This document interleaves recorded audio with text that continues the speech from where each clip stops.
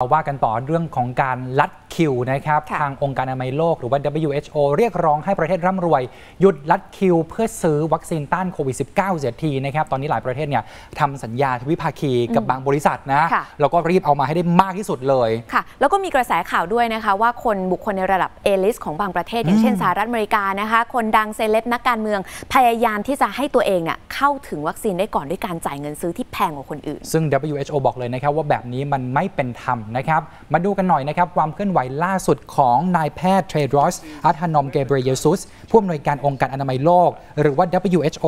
กล่าวเมื่อวานนี้นะครับว่าตอนนี้เนี่ยมันเกิดปัญหาขึ้นอย่างเห็นได้ชัดเลยว่า ประเทศที่มีรายได้ต่ำถึงปานกลางของโลก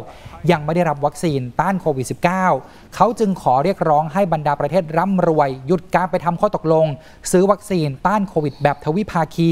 กับบริษัทผู้ผลิตวัคซีนทั้งหมดนะครับท่านผอ WHO เนี่ยเรียกร้องให้ประเทศที่ได้สั่งซื้อวัคซีนจำนวนมหาศาล จนเกินความต้องการ ส่งส่วนเกินตรงนี้ไปเข้าโครงการวัคซีนโลกหรือว่า COVAX ของ WHO จะได้นำไปแบ่งปัน กระจายไปยังประเทศอื่น ๆ ที่ยังไม่ได้รับวัคซีนบ้าง ขณะนี้พบว่าประเทศร่ำรวย ได้วัคซีนต้านโควิดส่วนใหญ่ของโลกไปครอบครองแล้วนะครับ พร้อมกับระบุนะครับว่าสหรัฐแล้วก็ชาติยุโรปบางชาติเนี่ยรีบไปทำข้อตกลงทวิภาคี กับบรรดาบริษัทยาทั้งหลาย เพื่อซื้อวัคซีนต้านโควิดจำนวนมหาศาล โดยเฉพาะ EU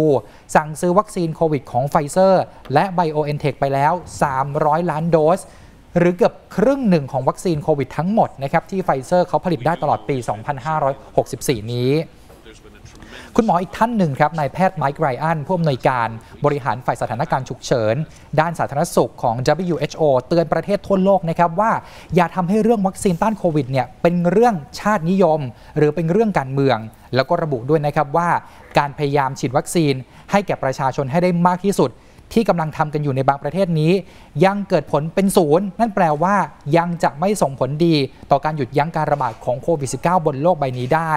ส่วนความคืบหน้าการอนุมัติวัคซีนของ WHO นะครับตอนนี้เนี่ยก็มีรายชื่อวัคซีน ต้านโควิดทั้งหมด 13 ตัว นับตั้งแต่เดือนตุลาคมปีที่แล้ว ที่อยู่ในบัญชีวัคซีนที่อาจได้รับอนุมัติ เพื่อใช้ในกรณีฉุกเฉิน แล้วก็มีหลายตัวนะครับที่อยู่ในขั้นก้าวหน้ากำลังรอข้อมูลวัคซีนทั้งหมด จากรัสเซียอยู่นะครับแล้วก็จากสถาบัน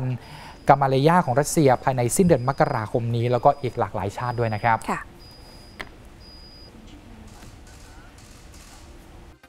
ขอบคุณที่ติดตาม KNN ช่อง 16 นะครับ อย่าลืมกด subscribe และกดกระดิ่งด้วยนะครับ เรายังมีวิดีโออื่น ๆ ที่น่าสนใจอีกเพียบ และถ้าท่านไม่อยากพลาดการรับชมแบบสด ๆ ก็ติดตามกันได้ที่ Facebook KNN Live หรือติดตามช่องทางอื่น ๆ ได้ สะดวกง่ายดาย แค่กดลิงก์ใต้วิดีโอนี้นะครับ